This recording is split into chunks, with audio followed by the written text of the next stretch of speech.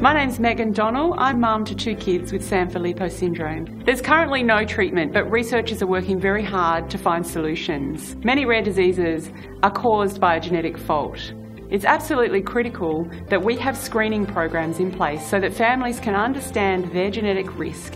If you'd like to support the Fair for Rare campaign and the rare disease community, please contact your local MP.